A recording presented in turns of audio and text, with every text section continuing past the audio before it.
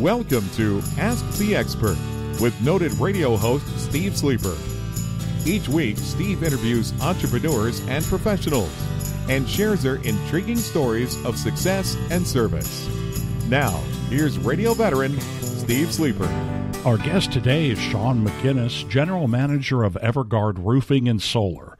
They've earned a reputation for being Albuquerque's most trusted source for residential, commercial, and industrial roofing. For those looking to save money on utility bills, look to Everguard Solar Solutions. I started the interview by asking Shaun about his company.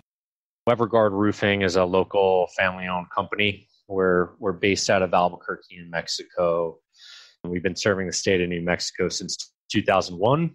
Uh, we started mainly as an industrial and commercial roofer, and in the past um, decade, we've also moved into the residential roofing service market with um, great success. Um, in 2008, we expanded into the solar industry with our, our sister company, Everguard Solar, and we've been providing clean, renewable energy to New Mexicans ever ever since then. So we've we've been established in the area. We're we're fairly well known, good word of mouth, and, and good reputation. You know, I moved to the Albuquerque area from uh, New Jersey six years ago and, and, had previous previously been in Albuquerque about 11, 12 years prior to that. But came with a, a construction background. I managed a, a swimming pool construction company, as well as worked for solar companies back east, and uh, primarily from a, an engineering standpoint, working with um, you know site surveyors and things like that for a, a, national company that was in existence at the time.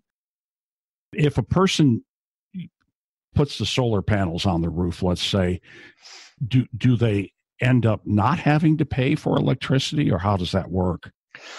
So with solar again you can you can completely offset your electrical usage meaning you can produce enough solar electricity to not get charged for your consumption which is typically done through a utilities net metering program. And I'll come back to that in, in a moment.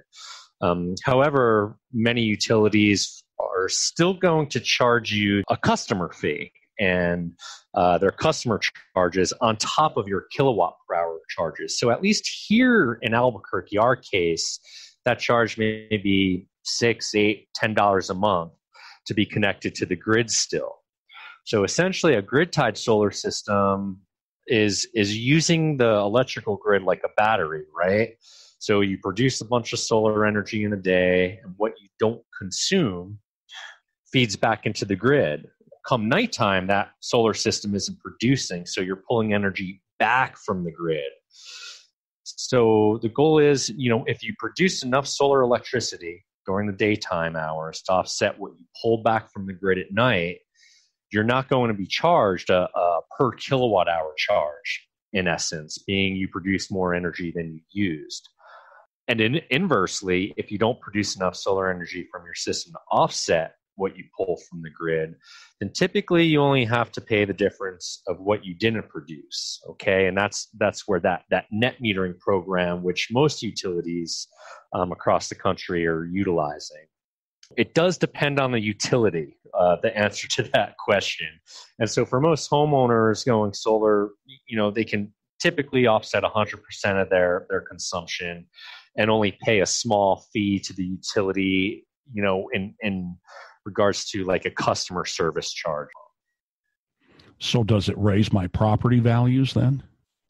It does, in in not only our opinion, but in the realtors' opinions in the area. We've gone to uh, several realtor group meetings here, and, and they all seem in unison on that.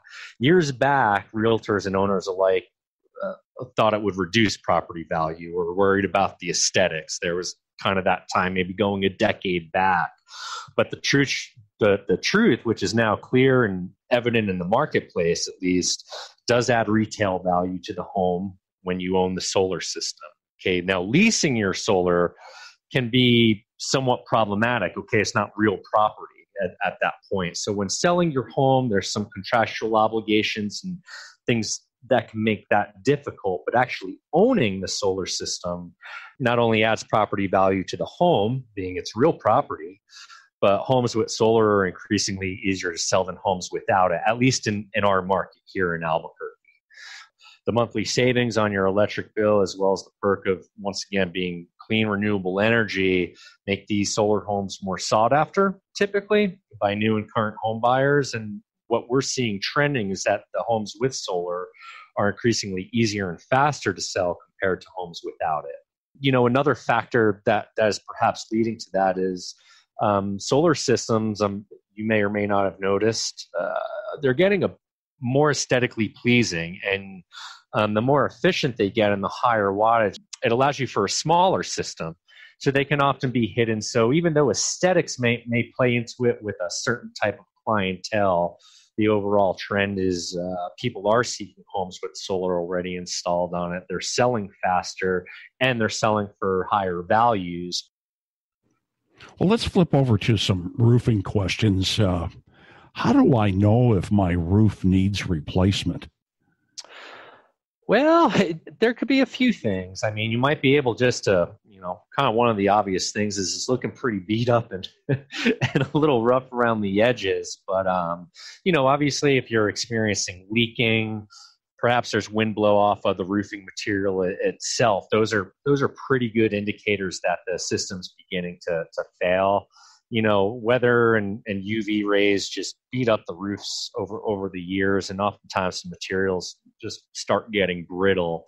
We always suggest if you're seeing any of those signs, or it's just generally looking old, uh, leaks, blow off, when in doubt, just call a roofer out.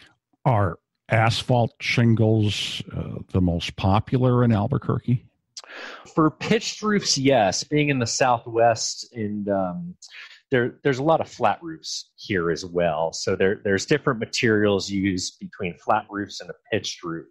But on pitched roofs, absolutely, um, they're right up there. Um, you know, we also see a lot of metal roofing here, but people tend to go with shingles. You know, they carry a, a, a great fire rating. They're they're built to last. You know, if they're installed right. And with, with a shingle system, you can add in some great ventilation options that help uh, prolong the life of the roof and uh, also help to cool the home and make the home more energy efficient. For each uh, option, how long does a roof last? It's all going to depend, obviously, like you mentioned, on, on the type of roofing system, quality materials installed.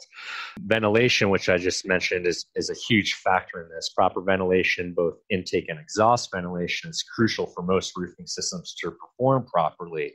So, taking we'll take a shingle roof system, for example, when properly ventilated and installed with premium materials, a shingle roof can last 40 to 50 years. Um, some installers like us at Everguard, we're able to provide a manufacturer warranty for that time period. We have up to a 50 year warranty. For a flat roof, what we found that works out really well here in Southwest is a is a uh, TPO roof, which is a membrane roof. If installed properly, um, right techniques, proper ventilation, things like that, you know, those roofing systems can last 30 years plus you know, a metal roof will typically last as long as the finish does. With each option, asphalt, metal, and flat roof, what's the cost per square foot? Air conditioning unit, heating unit, solar or wall flashing, all those things are going to take more time to work around. So that's going to going to increase the cost. Rough cost probably for a shingle you know, could be between five to seven dollars a square foot. Metal, again, standing seam is, is going to be a little bit more than that. Maybe if it's a standard R panel, it's going to fall within the range of the um, uh, of the shingles there.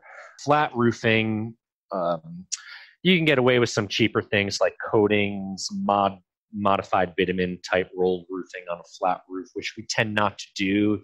There's also a roofing system that's um, was used to be more common here, a tar and gravel roofing system. Um, you know, those are some of your cheaper op- options, but you know, it may only last 10, 15, possibly 20 years if, if you take the time to maintain it properly. But a, a TPO roof, you know, depending on type of application, you know, if you have to do a full tear off of the existing material, code here only allows for two roofing layers. Uh, the the pricing can can drastically change, and uh, that same goes for the shingle too. You know, if you're doing tear off, that's going to increase cost. But for, for TPO, you can probably count on seven to nine dollars a square foot. Our thanks to Shaun McGuinness from EverGuard Roofing and Solar in Albuquerque. They can be reached at 505 821 9543. Thanks for listening to Ask the Expert with Steve Sleeper. Join us next time as entrepreneurs and professionals share their intriguing stories of success and service.